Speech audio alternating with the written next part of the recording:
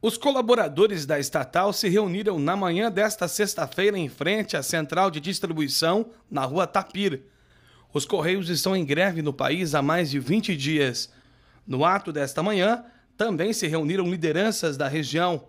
Houve o fechamento da unidade para o atendimento ao público por alguns instantes.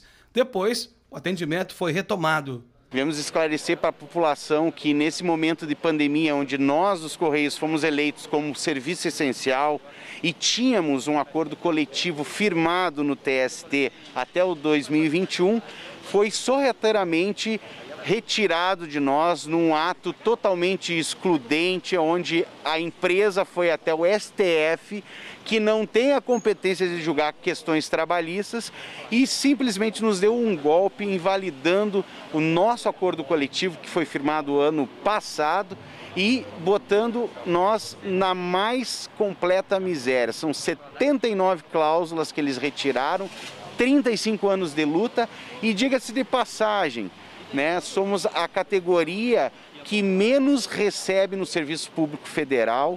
Temos é, um histórico que toda a população conhece de credibilidade, de trabalhar no sol, trabalhar na chuva, condições adversas, mordido de cachorro, com uma empresa que está sucateada há muitos anos e sem concurso desde 2011. Eles lutam por melhores salários e direitos estreitados. As nossas perdas estão calculadas mais ou menos em torno de 43%. O que, que nos retiraram? Hoje o salário inicial, base de quem entra no Correio é R$ 1.747, né? Falo por mim, 13 anos de casa, tenho esse salário de R$ 1.743 e teria outros adicionais que foram retirados, como por exemplo, 30% por estar fazendo atividades externas na rua, não existe mais. Questão de anuênio, não existe mais. Os planos de carreira e salários não funcionam dentro do correio.